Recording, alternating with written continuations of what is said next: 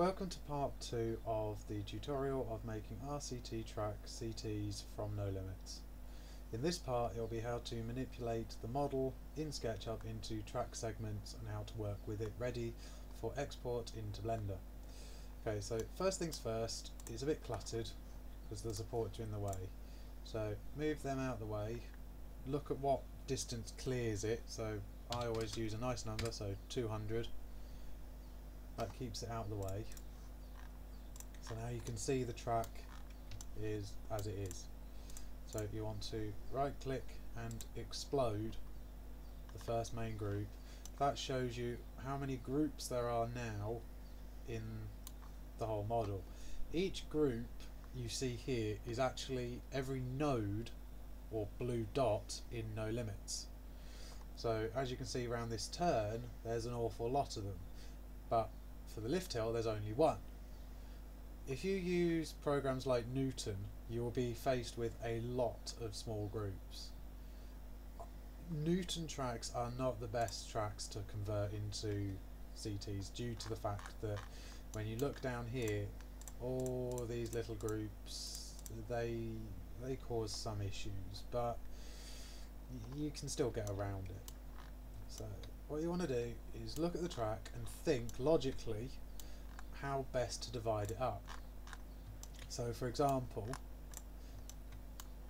this is one track section which is after the uh, after the station there's like a little transport section. So what you want to do is select the two rails and the spine, right click and make group. You want to do that for every rail and every spine that you want to put in the group of each track section that you want to use in Rollercoaster Tycoon. So for example station would be the first piece then that little transport section that's two and then this turn is part 3. There is a lot of pieces to join together when it's done with Newton like this, which does make it quite difficult. Once you've selected all of them, or as many as you think you've selected all of them, right click and make group. As you can see, it turns blue, which highlights the ones that haven't been selected. In this case, I missed one, type, uh, one spine group. So you just select it and put it back in the group. You want to do this for every type of track section that you want. This process does take quite a while, so I will fast forward the next section so rather than watching it all in, in real time.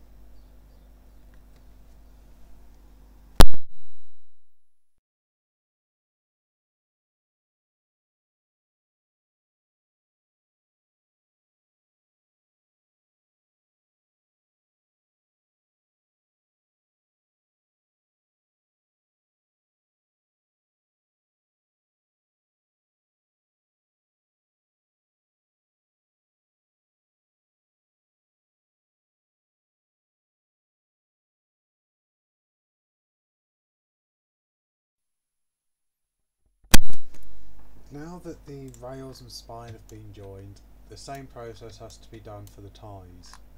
So makes it a bit easier because you can drag over quite a large area of ties that all need grouping together. Same process. Again, I'll fast forward through this section so you don't have to watch it all. There are some that you don't need to join as much where they're in straight lines all the others we just join back together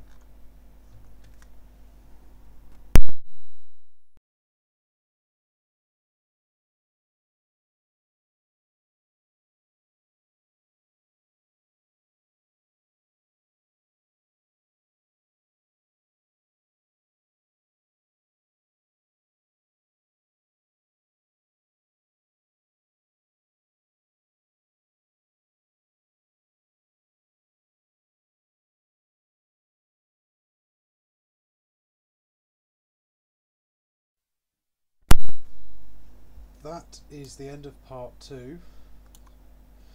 Well, as you saw while going around, there were some slight issues.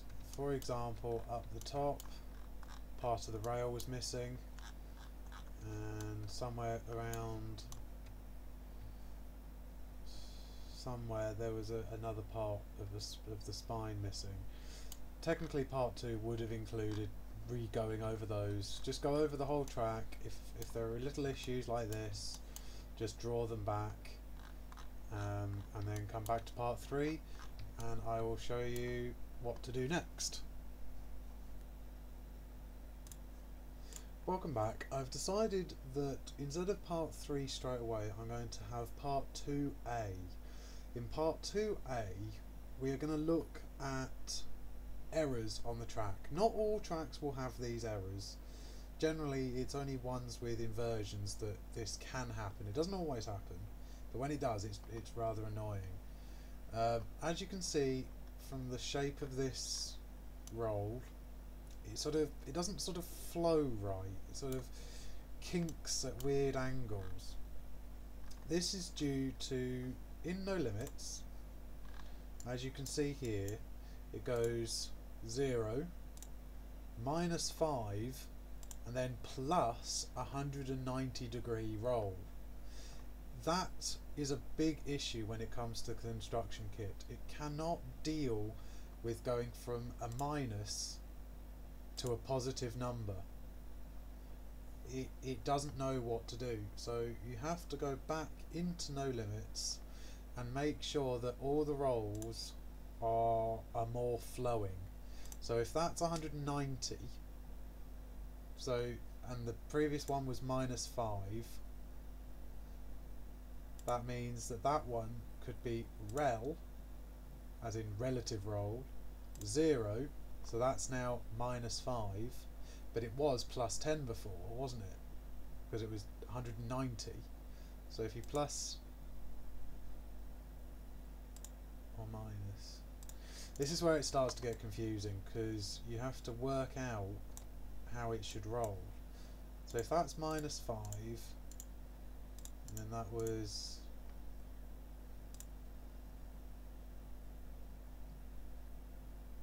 ninety.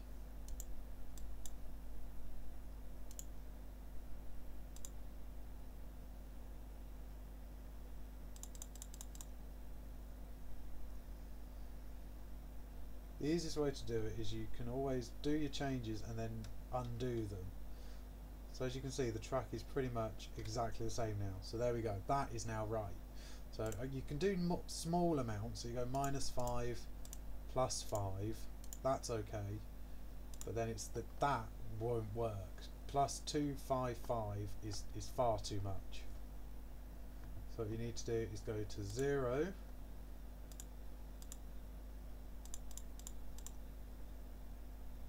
find out what roll it was, which is 135. Or you can go 5 relative roll 0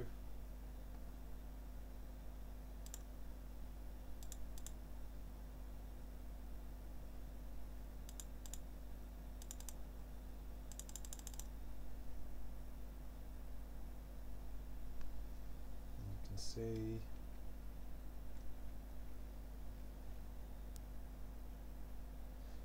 So that wasn't quite right, so it's needs to go up more.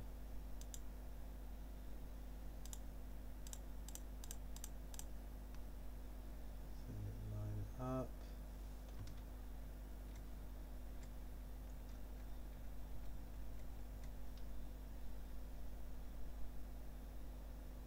Think that's about right. And then what's this roll? 60, so that's okay. So now you can save the track again. Close no limits. Minimize SketchUp. Go back into the construction kit.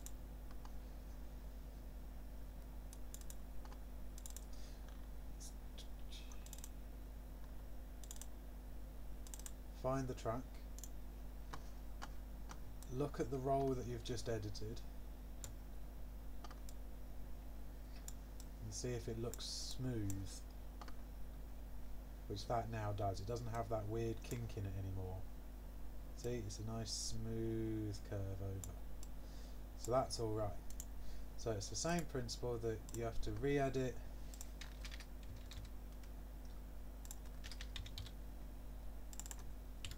all of these settings.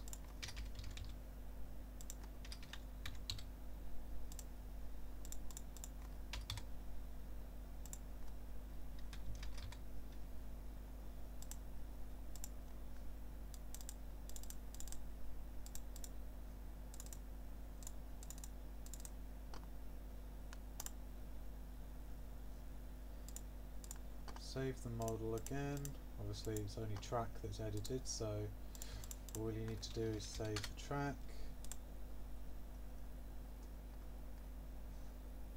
Then go back into SketchUp import the new track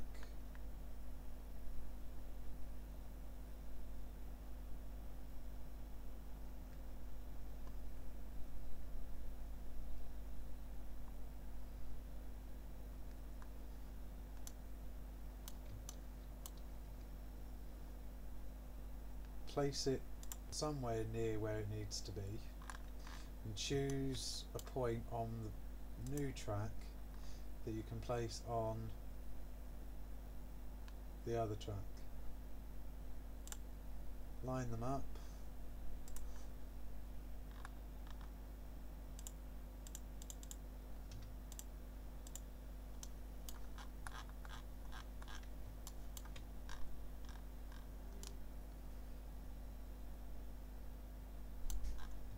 As you see the roll is completely different to the old one.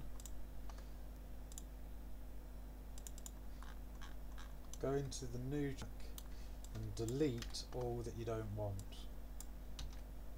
Which obviously is quite a lot because if it's only one element that's changed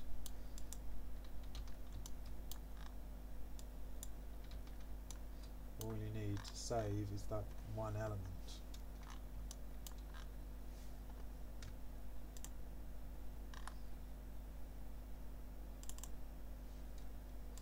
Delete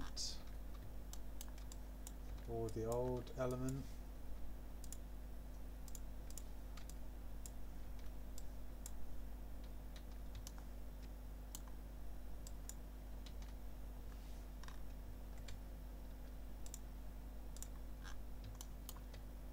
Explode the new track and just join them back up to how they were